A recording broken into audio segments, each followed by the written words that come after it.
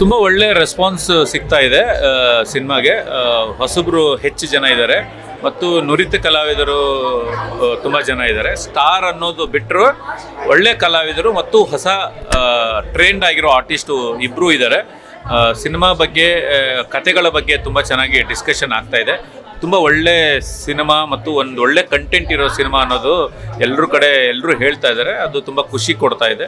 ಇನ್ನೂ ಹೆಚ್ಚು ಆಡಿಯನ್ಸು ಥಿಯೇಟ್ರಿಗೆ ಬಂದು ಹೊಸ ಥರದ್ದು ಸಿನಿಮಾಗಳಿಗೆ, ಹೊಸ ಥರ ಪ್ರಯತ್ನಗಳಿಗೆ ಸಪೋರ್ಟ್ ಮಾಡಿದರೆ ಇನ್ನೂ ಒಳ್ಳೊಳ್ಳೆ ಸಿನಿಮಾಗಳು ಬರ್ತವೆ.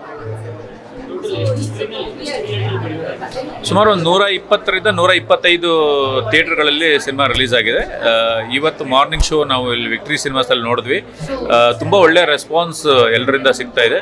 ತುಂಬ ಪರ್ಟಿಕ್ಯುಲರ್ ಆಗಿ ಸೆಕೆಂಡ್ ಹಾಫ್ ತುಂಬ ಚೆನ್ನಾಗಿದೆ ತುಂಬ ಚೆನ್ನಾಗಿದೆ ಅಂತ ಹೇಳ್ತಾ ಇದ್ದಾರೆ ಎಲ್ಲರೂ ಇವಾಗ ಎಕ್ಸಾಂಪಲ್ ನಾವು ಕಾಂತಾರದಲ್ಲಿ ಕೊನೆ ಇಪ್ಪತ್ತು ನಿಮಿಷ ತುಂಬ ಚೆನ್ನಾಗಿದೆ ಅಂತ ಹೇಳಿದ್ವಿ. ಹಂಗಂತ ನಾವು ಇಡೀ ಸಿನಿಮಾನೇ ನೋಡಿದ್ದೀವಿ ಆದರೆ ಇದರಲ್ಲಿ ಪರ್ಟಿಕ್ಯುಲರ್ ಆಗಿ ತುಂಬ ಚೆನ್ನಾಗಿದೆ ಅಂತ ಎಲ್ಲರೂ ಹೇಳ್ತಾ ಇದ್ದಾರೆ. ತುಂಬ ಖುಷಿ ಕೊಡುವಂಥ ವಿಷಯ. ಇಲ್ಲ, ಇವಾಗ ಶುರು ಆಗಬೇಕು, ಇವಾಗ ಶುರು ಆಗಬೇಕು. ಇವಾಗ ತಾನೇ ಫಸ್ಟ್ ಮಾರ್ನಿಂಗ್ ಶೋ ಮುಗಿದಿದೆ. ಮಾರ್ನಿಂಗ್ ಶೋ ಇವಾಗ ಮುಗಿದಿರೋದ್ರಿಂದ ಬೇರೆ ಬೇರೆ ಕಡೆ ರೆಸ್ಪಾನ್ಸ್ ಹೆಂಗಿದೆ, ಏನಿದೆ ಅಂತ ಇದಕ್ಕೆ ಮೇಲೆ ತಿಳ್ಕೊಳ್ಳೋ ಪ್ರಯತ್ನ ಮಾಡ್ತೀವಿ.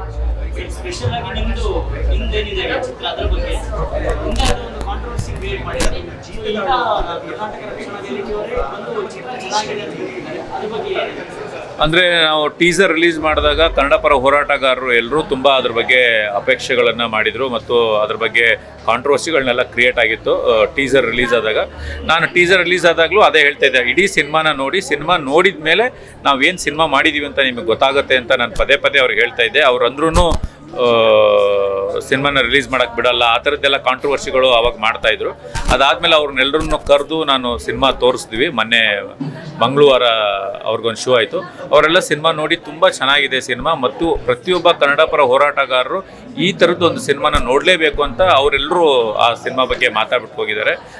ಒಂದು ಸಿನಿಮಾ ಟ್ರೇಲರು, ಟೀಸರ್ನ ಒಂದು ಕ್ವಶನ್ನ ಒಂದು ಪ್ರಶ್ನೆನೇ ಹುಟ್ಟಾಕತ್ತೆ ಹೊರತು ಸಿನಿಮಾ ತೋರ್ಸೋಕ್ಕಾಗಲ್ಲ.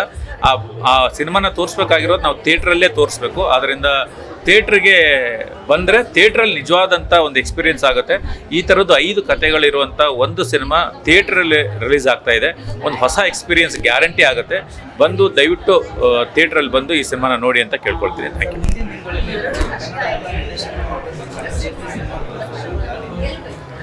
ನೋಡೋಣ, ಪ್ರಯತ್ನಗಳು ಮಾಡ್ತಾನೆ ಇರ್ತೀವಿ. ಹೆಚ್ಚು ಜನ ಫೋನ್ ಮಾಡಿದವರೆಲ್ಲ ಸಿನಿಮಾಗಳನ್ನ ನೋಡ್ತೀನಿ ಅಂತೆಲ್ಲ ಹೇಳ್ತಾ ಇದ್ದಾರೆ ಅವ್ರು ಮೋಸ್ಟ್ಲಿ ಸಿನಿಮಾಗಳು ನೋಡೋಣ.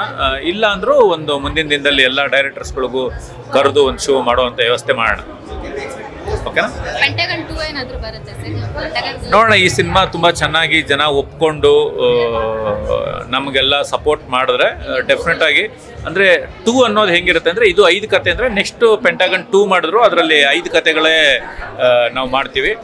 ಬೇರೆ ಬೇರೆ ಪ್ಲ್ಯಾನ್ಗಳು ಇದೆ. ಅಂದರೆ ಈ ಸಿನಿಮಾನ ಮೆಚ್ಚಿಕೊಂಡು ಆಡಿಯನ್ಸ್ ಇಷ್ಟಪಟ್ಟರೆ ಡೆಫಿನೆಟ್ ಆಗಿ ಪೆಂಟಗನ್ ಟೂನ ಬರೀ ಕತೆಗಳ ಆಧಾರಗಳ ಮೇಲೆ ಅಂದರೆ ನಾವೆಲ್ಗಳು ಏನಿದಾವೆ ನಾವೆಲ್ಗಳನ್ನ ಇಟ್ಕೊಂಡು ಐದು ಕತೆಗಳನ್ನು ಮಾಡಬೇಕು. ಅನ್ನೋ ಒಂದು ಪ್ಲಾನ್ ಅಂತರೂ ಓಡ್ತಾ ಇದೆ. ಐದು ನಾವೆಲ್ ಅಂದರೆ ಒಂದು ಒಂದು ಒಂದು ಹೊಸ ಥರದ್ದು ಸಿನಿಮಾಗಳನ್ನು ಆಡಿಯನ್ಸ್ ನೋಡೋಕೆ ಇಷ್ಟಪಟ್ಟರೆ ನಾವು ಏನು ಅಂತಂದ್ರೆ ಹೊಸ ಥರದ್ದು ಸಿನಿಮಾಗಳನ್ನು ಮಾಡೋ ಪ್ರಯತ್ನಗಳು ಡೆಫಿನೆಟ್ ಆಗಿ ಮಾಡ್ತಾ ಇರ್ತೀವಿ. ಈ ಸಿನಿಮಾ ನಿಜವಾಗ್ಲೂ ಜನ ಮೆಚ್ಕೊಂಡು ಈ ಸಿನಿಮಾನ ಇಷ್ಟಪಟ್ಟರೆ ಡೆಫಿನೆಟ್ ಆಗಿ ಮುಂದಿನ ದಿನದಲ್ಲಿ ಇದೇ ಥರದ್ದು ಹೊಸ ಪ್ರಯತ್ನಗಳು ಆಗ್ತಾ ಇರುತ್ತೆ ಅಂತ ಹೇಳ್ತೀವಿ ಅಲ್ಲಿ ತುಂಬ ಜನ ಕಾಲ್ ಮಾಡ್ತಾ ಇದ್ದಾರೆ. ಅಂದರೆ ಇವಾಗ ಮಾರ್ನಿಂಗ್ ಶೋ ಆಗಿದೆ. ಮೊನ್ನೆ ಸಿನಿಮಾ ನೋಡಿದವರು ತುಂಬ ಜನ ಕಾಲ್ ಮಾಡಿದ್ದಾರೆ. ಮತ್ತು ಇವಾಗ ಶುರು ಆಗಿರೋದ್ರಿಂದ ಇನ್ ಮೇಲೆ ಸ್ಟಾರ್ಟ್ ಆಗಬೇಕದು. ಮಾಡಿ ಇಲ್ಲ, ನನಗೇನು ಆ್ಯಕ್ಟ್ ಮಾಡುವಂಥದ್ದೇನು, ಆ ಥರದ ಉದ್ದೇಶಗಳು ನನ್ನಲ್ಲಿ ಏನಿಲ್ಲ ನನಗೆ. ಎಲ್ಲೋ ಒಂದು ಕಡೆಗೆ ಸಣ್ಣ ಸಣ್ಣ ಸಾಂಗ್ಗಳಲ್ಲೋ ಇನ್ನೆಲ್ಲೋ ಸಣ್ಣ ಸೀನ್ಗಳಲ್ಲೋ ಬರೋದು ಬಿಟ್ಬಿಟ್ರೆ ಫುಲ್ ಟೈಮ್ ಆಗಿ ಆ್ಯಕ್ಟರ್ ಆ್ಯಕ್ಟ್ ಮಾಡುವಂಥದ್ದು ಪ್ಲ್ಯಾನ್ಗಳು ನನಗೆ ಸದ್ಯಕ್ಕಂತೂ ಇಲ್ಲ. ಮುಂದಿನ ದಿನದಲ್ಲೇ ನೋಡೋಣ ಏನಂತ. ಆದರೆ ಆ್ಯಕ್ಟ್ ಮಾಡುವಂಥದ್ದು ಸದ್ಯದ್ದೇನು ಡಿಸಿಷನ್ ಇಲ್ಲ ನನಗೆ. Thank you thank you